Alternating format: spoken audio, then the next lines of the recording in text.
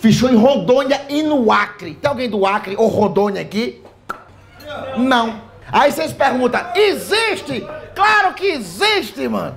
Pô, eu gostei de Rondônia pra caralho, eu gostei muito de Rondônia, eu gostei. E gostei do Acre também. Aconselho, vão no Acre.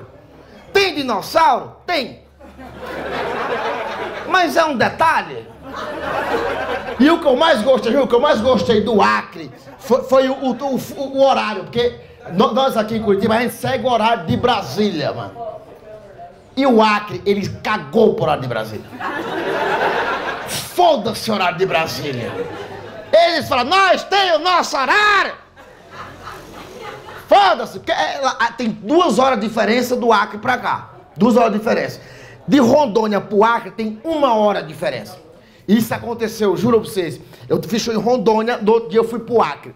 Eu saí de Rondônia 11h40 da manhã. Peguei um voo pro Acre.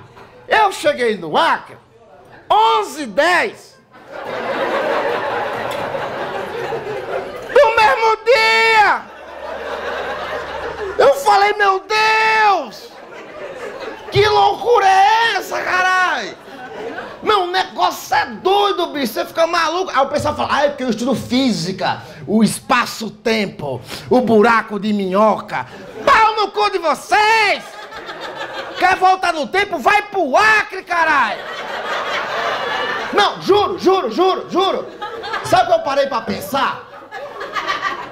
Eu parei pra pensar. Tem uma hora de diferença Rondônia-Acre. Se você der o cu em Rondônia, curiosidade. Ah, eu tô à toa. Vou dar o cu. Se der o cu em Rondônia e tu se arrepender, pega um voo pro Acre.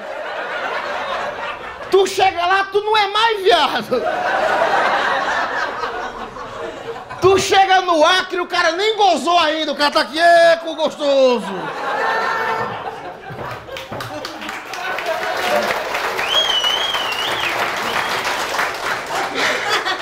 Muita coisa absurda na vida,